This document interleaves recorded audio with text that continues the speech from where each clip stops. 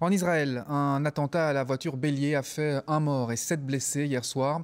Les victimes étaient toutes des touristes. Israël a donc à nouveau renforcé son dispositif policier et militaire aujourd'hui. Ces derniers jours, c'est en fait l'escalade et les tensions entre Israéliens et Palestiniens sont extrêmes. Fred Varlet, Catherine Tonero.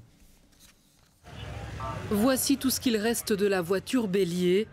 Vers 21h hier soir, son conducteur fonce à toute allure sur cette avenue du centre de Tel Aviv avant de faire un tonneau et d'être abattu par la police. Le véhicule qui roulait vers le sud s'est renversé à un moment donné. Des policiers qui se trouvaient dans la zone se sont approchés, l'ont identifié ainsi qu'une arme qui s'y trouvait. Lorsque le suspect a tenté de saisir l'arme, les policiers ont tiré et l'ont tué. Le conducteur était un père de famille originaire d'une ville arabe du centre d'Israël. Bilan de l'attaque, un homme de 36 ans décédé et sept blessés, tous des touristes étrangers venus passer la soirée ici. Au lendemain de l'attentat, l'émotion reste vive sur cette artère fréquentée du front de mer de Tel Aviv.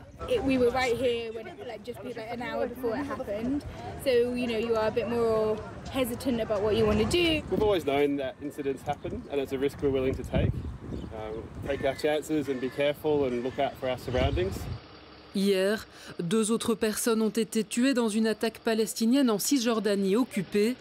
Une journée d'attentats condamnée par la communauté internationale qui appelle au calme, alors que ce nouveau cycle de violence éclate en pleine fête religieuse au Proche-Orient.